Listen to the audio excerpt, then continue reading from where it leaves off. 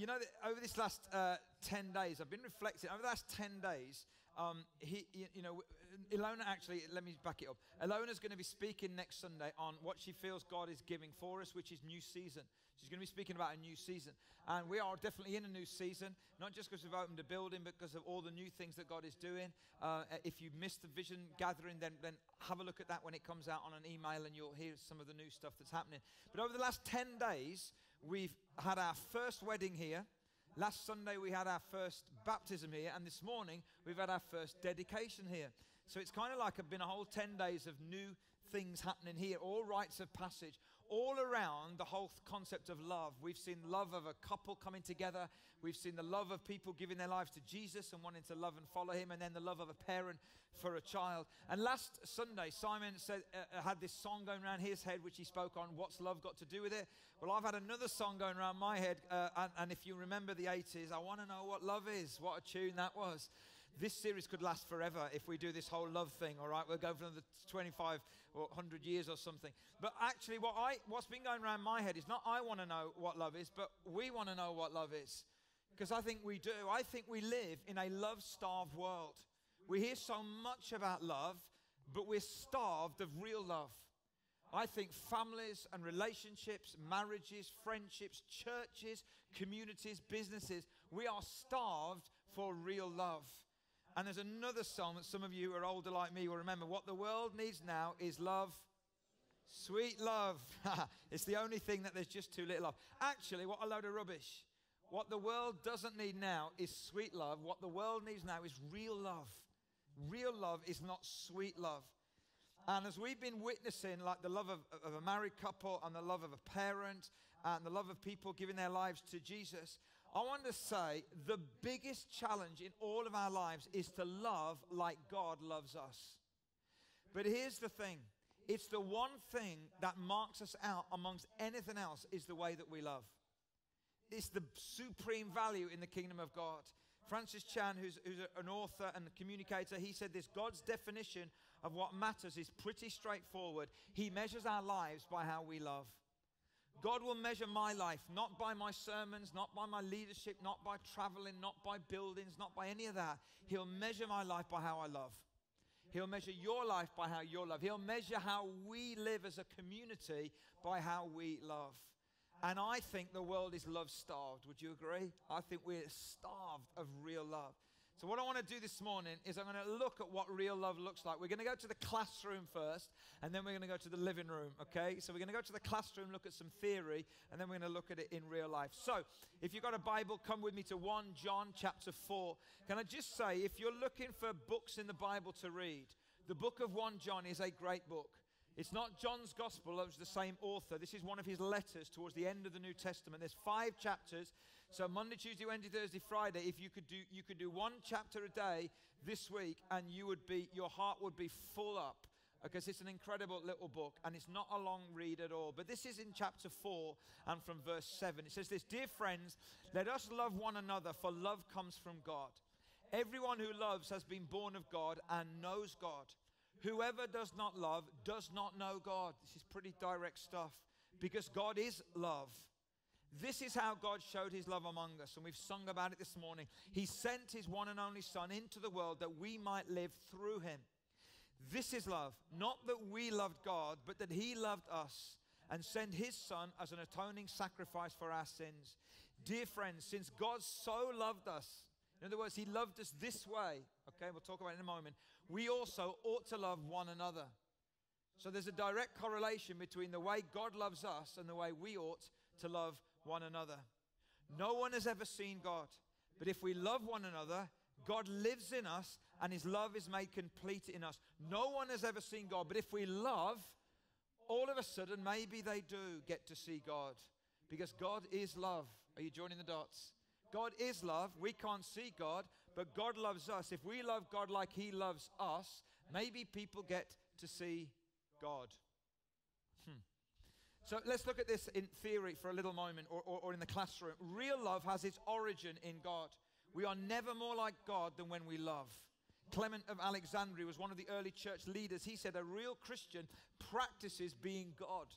Sounds a really bold claim, but basically, as we love like Him, we are never more like Him than when we love. You see, real love has a double relationship to God. It's only by knowing God that we learn to love, and it's only by loving that we learn to know God. Many people say to me, We need to know more, we need to know more, we need more knowledge, we need to go deeper, we need to go deeper.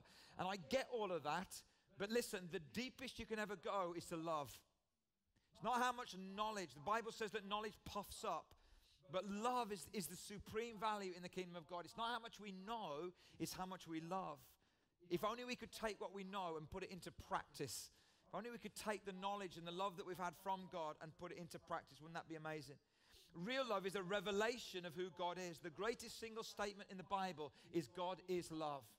Not that God loves, but that God is love.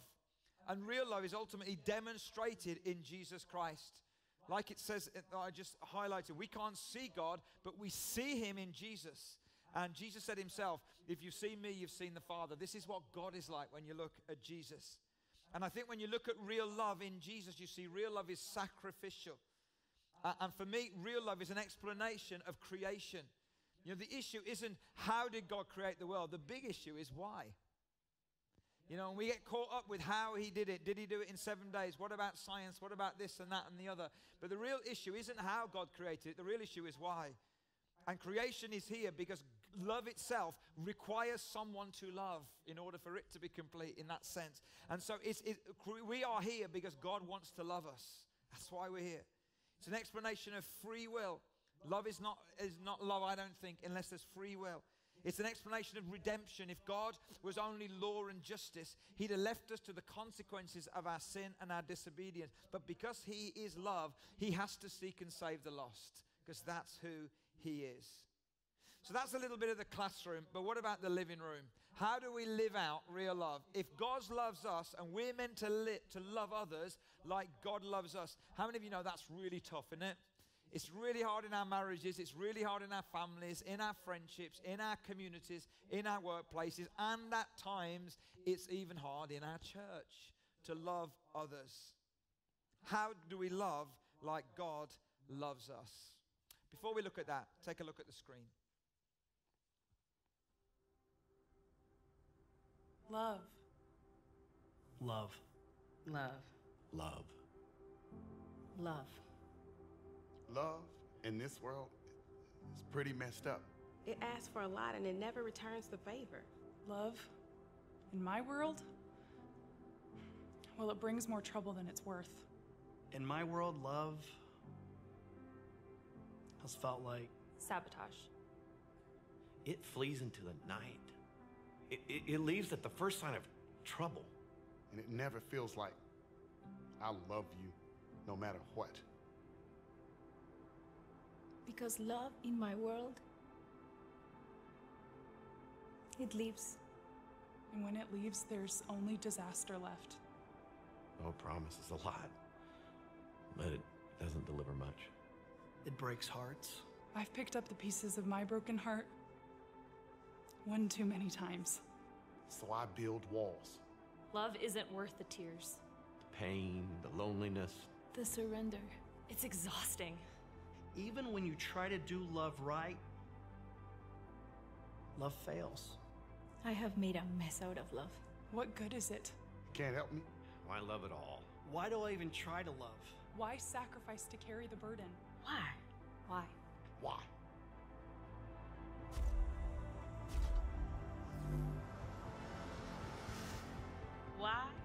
Because there is a perfect love. Perfect love that can end the disaster. A perfect love that can heal the brokenhearted. There is a love that saved those who are dwelling in this messed up world. God tells us about it because we wouldn't recognize it if it showed up on our own doorstep. It's a love that takes its time. It's profound. It doesn't brag or badmouth. God's love is like a shield that we know will never leave us. And that you can trust. Hoping. And you never, ever exhaust it. That's his kind of love. And it never fails. And while we were keeping records of wrongs and self seeking and being unkind, he still died for us. How can I love like that? How can I love like that? How can I love like that? because I am loved like that. I can love well, but because he first loved me.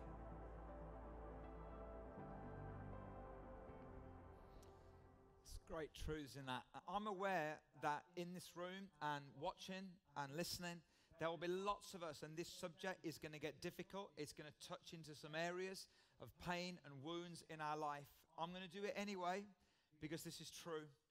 And my hope and prayer is that as I go through this in the next 15 minutes or so, that God, by His Holy Spirit, brings us all a new sense of His love, and that we then get to know how to pass that on to others. How do we live out real love? I want to use the framework of the talk that I did at Matt and Rebs' wedding because, contrary to popular opinion, I can write a new wedding talk from time to time, which I did on that occasion. And I want to use this framework because I think, I think it's got a lot to say.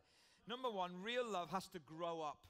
Real love has to grow up. You know, we dedicated uh, Evie this morning, and if you've had babies, you'll know that when you have a baby, uh, what a baby does is that when a baby is hungry, the baby cries and someone feeds them. When a baby is lonely, they cry and someone picks them up. When a baby wants to go to the toilet, they go ahead. Somebody else gets to sort it out. How many of you know that's a baby? You're not meant to stay like that. Yeah? And yet, many of us in our love, we stay in baby love rather than growing up to adult love and to mature love. You see, the love we see in our culture now is temporal, conditional, and fickle. It doesn't last, it's conditioned on what's in it for me, and it's so easily broken. And unfortunately, we see that love in our relationships and in the church as well. And that's not adult love, that's baby love. Paul says in 1 Corinthians 13, When I was a child, I taught like a child, I thought like a child, I reasoned like a child, which was appropriate because I was a child. That's my words. But when I became a man, I put the ways of childhood behind me. And you see, real love is love that grows up. It grows up. And grown up love is not self oriented. Grown up love is not all about me. a, a, single guy put into a computer, you know, one of these kind of match kind of things to try and find the ideal partner. And he put this in I want a companion who is small and attractive, loves water sports, and enjoys group activities. Computer said, marry a penguin. You see, love that's baby love is all about me. Love that is adult love is all about you. It's putting others first, it's not self oriented. Mature love is not selfish or self serving.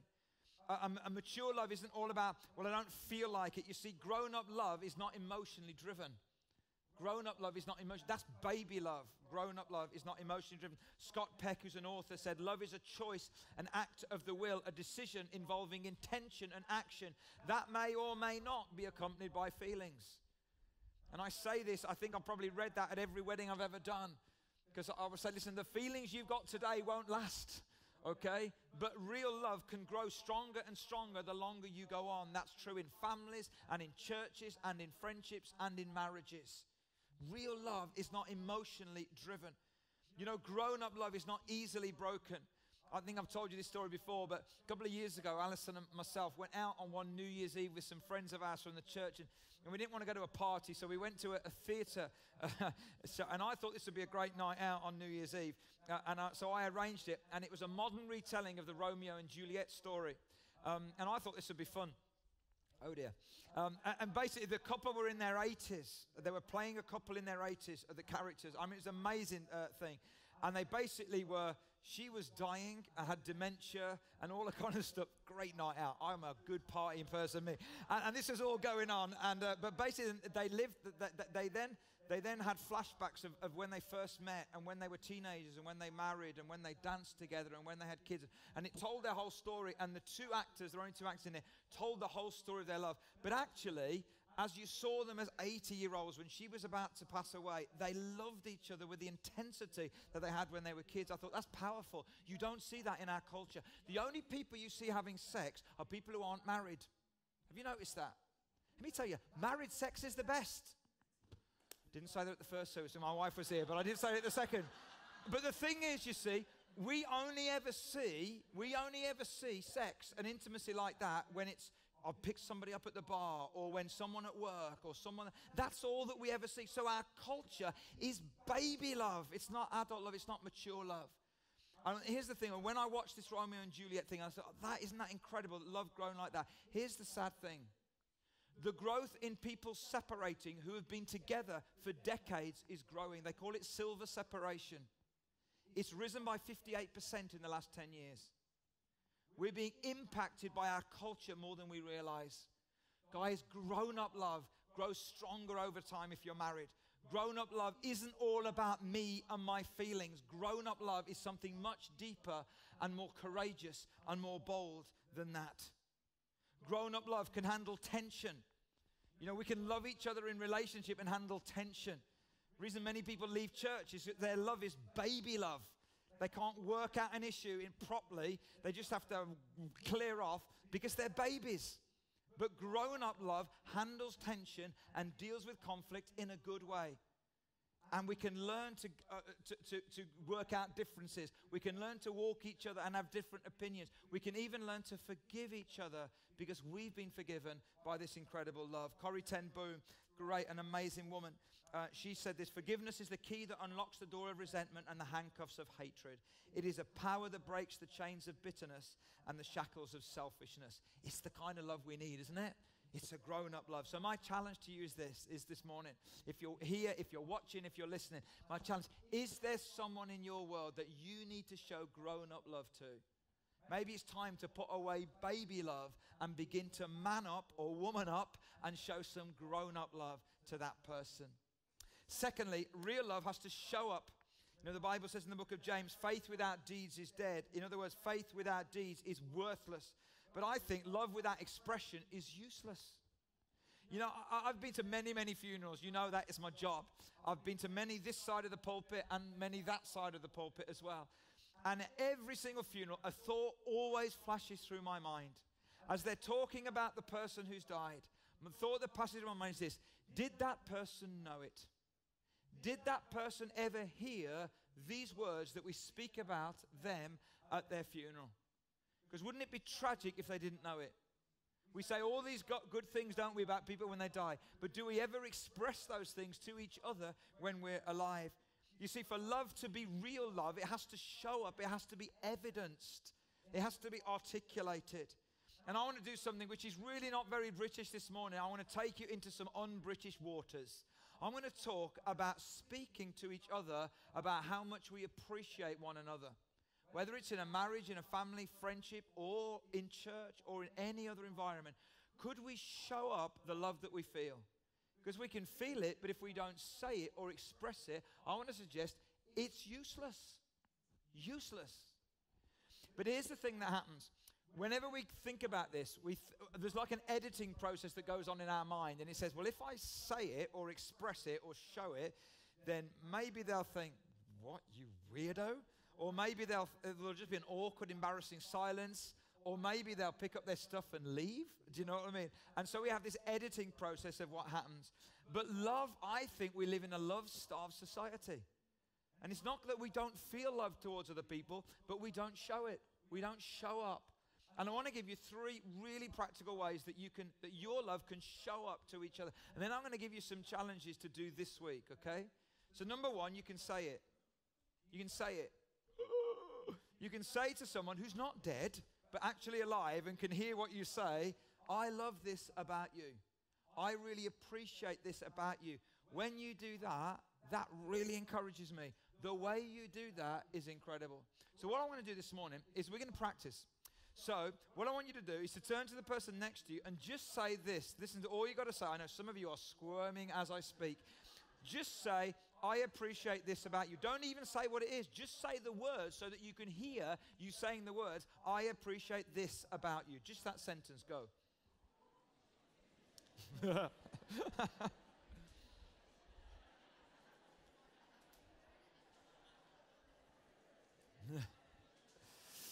Ooh, awkwardness. okay, okay, okay. Now, let me ask you a question. Who died? Did anyone die? Put your hand up if you died then. No, hopefully nobody did. See, nobody dies. But wouldn't it be incredible if we lived our lives like that, that actually we stopped someone and we said, I want to say something to you? Well, that'd be amazing. Wouldn't that be incredible culture to be in, in? I think that would be incredible. So we can say it. Secondly, we can write it. Maybe for some of us it's awkward to say, but you can write it. Actually, sometimes writing it can be even more powerful than saying it. Because when you take the time to send a text or a message or an email, or better still, get out one of those things, you may have heard of it, called a pen. Anyone heard of a pen? In fact, I've forgotten how to write with a pen, to be honest, these days. But when you write a card and you send it to someone, not only do you articulate something good that you want to say to them, but they know that you've taken time. And time is so incredibly important, isn't it? We communicate our love more through our time than through anything else these days. But also, they can keep it and read it and reflect on it. I want to let you into a secret. In my office, in my desk, I have a folder. In my folder are cards and messages that people have written me over the years. When you send me a nice message, and many of you do, and I appreciate it, I put them in that folder. On certain days, on certain bad days, which I do have from time to time, I get that folder out and I read over those cards and I read those messages because it reminds me that I'm not on my own, I'm not crazy, and there are good people out there who appreciate what I'm doing, and that actually encourages me. And that is like God speaking into my life. And you could be like that for someone else. You could be someone that passes on love to someone else. And connected to that, not only can you say it, not only could you write it, but you could express it with acts of kindness. You know, Many of you know because we, we, we put it out. We don't often say about but we put it out this week on social media that this has been a difficult week for us as a family. Um, we've had the vision gatherings, which have been great, but at the same time, Simeon has had two medical interventions over the last couple of weeks, and this week had to go in for surgery. Our youngest son, Simeon, has complex special needs and disabilities. What he actually had was very minor, but but, but because of his dis- disability and difficulties, could have been very major. He had to have general anesthetics. It's been a very hard week. He's come through it really well, and we had a brilliant day with him yesterday. And um, we, we were going to go out to some friends last night. We just couldn't do that, so we had to give our apologies for that because we wanted to spend longer with Simeon in the day. And when we kind of flopped at about 8 o'clock at night or whatever it was, um, we, we, flopped into the lounge and we were just reflecting and, and thanking God for what He'd done. And it'd been a very long, tiring week. And there was a ring at our doorbell. And um, we went out and opened the porch, and, and somebody had driven off. We don't know who it was. We still don't know who it was. But in our porch was a bag of stuff some flowers and some chocolates and some drink and some food and a card that just said some really great things. And I don't know who it is. So if it is one of you, thank you so much because God used you to speak into our lives last night. And the reason I say that is that I know the impact of that in my own life. Expressed, written, articulated love is incredibly powerful. Wouldn't it be amazing if we were all like that? And as I've received that this weekend, I want to be someone this week that gives it to somebody else. Because maybe then I could be that voice of God into someone's life. Like whoever it was that gave us that stuff last night, you were the voice of God into our lives, and we really want to thank you for that. So, is there someone in your life that you need to let your love show up? So, this week, even today, even before we leave, could you say it? Or could you write it? Send a text, send an email, use a pen. Or could you express it with an act, act of kindness? What an amazing world we'd live in, wouldn't it? If we lived like that, that the love that we'd receive from God, we loved like God, and we said it. You know, Jesus said it often. God often in the Bible expresses, You are precious in my sight. You are honored. You're the apple of my eye. He says it and expresses it so many times. We need to love like He loves us. Number three, real love, this is for me, sometimes has to shut up. Sometimes has to shut up. Soon after our last child left home for college, my husband was resting next to me on the couch with his head in my lap. I carefully removed his glasses. You know, honey, I said sweetly, without your glasses, you look like the same handsome young man I married all those years ago. Honey, he replied with a grin, without my glasses, you still look pretty good too. the, the Bible says, be quick to listen, slow to speak. Sometimes real love has to shut up. I'm terrible at this. Terrible. Because when Alison, my wife, is trying to express feelings and emotions and stuff, I'm already giving her the solution. Anyone else understand that that's going on? Uh, but real love sometimes shuts up. Because when you shut up and hold the space, you communicate love. You communicate empathy. You communicate that this isn't just about me giving you a solution, this is about me hearing what's going on for you. And when I do that, I know that that is communicating love in a way that Alison appreciates. And sometimes in all of our relationships, sometimes real love just has to shut up. Stephen Covey, who's a leadership writer, he says the biggest communication problem is we do not listen to understand, we listen to reply. There's so much depth in that, isn't there? One of the biggest communication problem in our culture is we do not listen to understand, we listen to reply. And so we tweet before we've even heard what someone said. And we tweet something out and we're off and we're off and we reply and we reply rather than just listening, holding the space, being present. Sometimes real love shuts up. And, f- and so, challenge is there someone in your life that you need to shut up for and just be there and be present and be in their life? Maybe just remembering something, maybe just holding a space where you can be present in their life. Wouldn't that be amazing in our workplaces? You know, if instead of just speaking to each other, we listen to each other in our friendships, in our small groups, in our communities, with our neighbors. You know, that we just listened to one another and just actually held a space where we were fully present, not on our phone, not giving them the answer, but just shutting up and being present. I think that would change the world. Number four, ultimately, real love has to look up. Real love has to grow up Real love must show up. At times it has to shut up. But ultimately, for us, real love has to look up. Because you and I, our love tank can run empty. His never does. Incredible verse in John chapter 15 from the message. Jesus says, I've told you these things for a purpose, that my joy might be your joy, and your joy wholly mature. In other words, grown up. This is my command love one another the way I loved you. This is the very best way to love. So listen, when, you, you, when your love is empty, when your love tank is running dry, look up. Remind yourselves of who Jesus is, who God is, how He has loved you, and that as we receive His love, then we've got a love to give to others. We can never love like God if we're not being loved by God. One of my favorite quotes, Wayne Jacobsen, he said this We will never love effectively if we're not loved extravagantly. You'll never be loved like you'll never love like God if you're not being loved by God. So the challenge is this love needs to move from our head to our heart and at times even to our mouth and to our hands that we can express it. But if, if this kind of love is connected to being loved by God, why do we have such a problem in being loved by God? Because if we only were loved by God, then maybe we could love like God. Zephaniah 3:17 says the Lord your God is with you. He is mighty to save. He will take great delight in you. He will quiet you with his love. He will rejoice over you with singing. This is the father's love song over us guys. It says he delights in us. You know I, I grew up in a Christian family. I love my Christian family still do and the environment I grew up in. But but the environment church-wise that I grew up in did have a little tendency to stress duty over relationship and so I grew up thinking God loves me because He has to, because it's in His job description. And when I came to the realization and the revelation that God doesn't love me because He has to, but He loves me because He wants to, it changed everything. Paul says that we are loved according to His will and good pleasure. I love that. According to his will and good pleasure. He delights in us. He quiets us with his love. God doesn't want you and I running around looking for love in all the wrong places. He wants to quieten us down so that we can be loved by him. And then he rejoices over us with singing.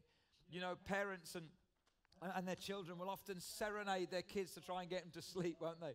And then they'll give them Calpol and drive them around and do all other kinds of things. But we often try and sing a love song. We serenade. And this is what the scripture says God is singing a serenade, a love song over us, but we can't hear it because of all the discords in our life, because of all of the broken relationships, because of all of the unhealthy experiences of love that we've had. And all of a sudden, God is trying to sing this love song, but all we can hear is discords and discords, and we can't hear the serenade of the Father. I want to give you just five quick words before we finish that will help you and they'll help me. What do we do with this? Number one, we have to trust.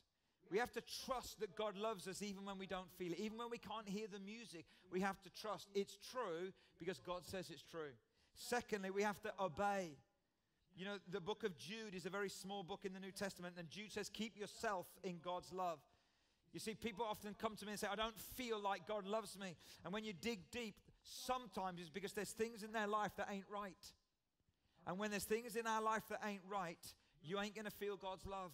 It's not because God's not singing the song, it's because you put a block in it and we need to do something. We need to obey.